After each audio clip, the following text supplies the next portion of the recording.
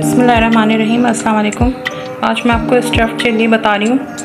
इसके लिए आप लेंगी ये छः सात हरे मिर्च लेंगी, उसके बाद ये हाफ़ कप बॉयल्ड चिकन है। और उसके बाद एक, ये वाला मैंने चीज़ लिया था जो ईरानी की दुकान से मिलता है, ये एक एक ये चीज़ का मैंने पैकेट लिया था। उसके बाद हाफ़ टी स्पून नमक है, हाफ़ टी स्पून कोटी लाल मिर्च है।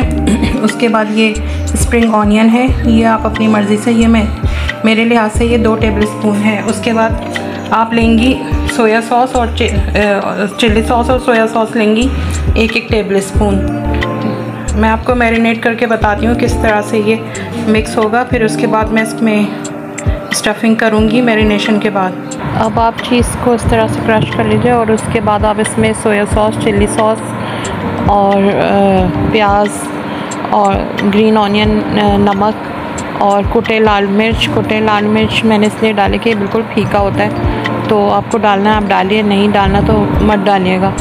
और इसके बाद फिर आप इसको मिक्स करिए। इसमें चिकन जो मैंने डाली थी वो मेरे पास ब्रोस्ट की बची हुई थी। अगर आपके पास ब्रोस्ट या टिक्का बचा हुआ चिकन टिक्का तो वो ले लीजिए। या फिर बॉईल कर लीजिएगा चिकन। उसमें नमक, काली मिर्च डाल के और उसे बॉईल करिएगा चिकन को। उसके बाद ये सब मिक्स करने के बाद अब ये इस तरह से आप मिर्चों में इसको भर लीजिएगा और सब ये, पहले ये सब भर के और रख दी जाएगा। उसके बाद फिर आप देख लीजिए, इतना ज़्यादा भरना नहीं है, बस इतना कि इसके लेवल पे आ जाए, बस इतना भर के रख दीजिएगा मिर्चों को। अच्छा मिर्चों के बीज मैंने नहीं निकाले थे, अगर आपको निकालना है तो आप निकाल लीजिएगा, मुझे इसके बीज बहुत अच्छे लगते हैं। इसलिए मैं नहीं निकालती इसके बीज। आ, मैं इसी तरह से ही फिल करती हूँ। मसाले वाली मिर्चों में भी मैं जब भरती हूँ तो उसके भी मैं बीज नहीं निकालती। उसके बाद फिर आप इस तरह से भर के और रखती जाइए और उसके बाद फिर आप एक बाउल में इसमें लेंगी तीन टेबल स्पून कॉर्नफ्लोर दो टेबल स्पून मैदा लेंगी और उसमें मैंने रेड चिली पाउडर स्पाइसी करने के लिए डाला था। आप रहने दीजिएगा।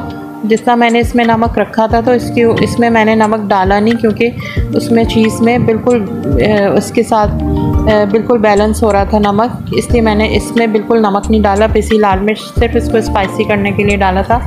नहीं डालना आपको तो मत डालेगा और इसको बहुत थिक सा ऐसा बैटर बनाएगा कि इसमें पतली सी लेयर जो है, इसमें मिर्चों में, बस ये देख लीजिए कि कितनी, इसकी जो लेयर है, पतली सी चढ़ जाए।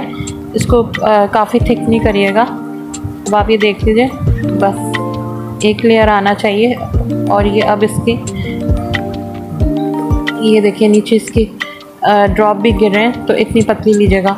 और इसको ब्रेड क्रम्स में इस तरह से पोर करके और रख दी जाएगा और इसको मैंने तकरीबन आधा घंटा मैंने इसको रखा था फ्रिज में।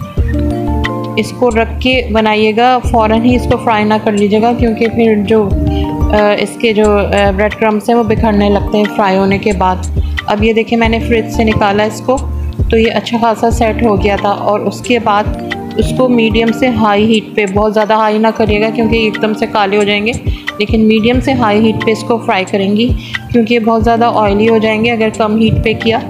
और ये ये जो अंदर से जो इसके मिर्चें हैं ये गल जाएँगे गल के ये बैठ जाएगा ये लुक नहीं आएगा इसका मिर्चों उसका। आप ये देख लीजिए जो ये लुक मैं आपको दिखाना चाह रही हूँ। तो और इस तरह से फिर आप इसको गोल्डन फ्राई कर लीजिए। गोल्डन बल्कि गोल्डन फ्राई नहीं गोल्डन ब्राउन फ्राई किया था मैंने। और बस आ, इसको एंजॉय करिए। और मुझे दुआ में याद रखिएगा लाइक और सब्सक्राइब कर दीजिएगा। अल्लाह हाफिज़।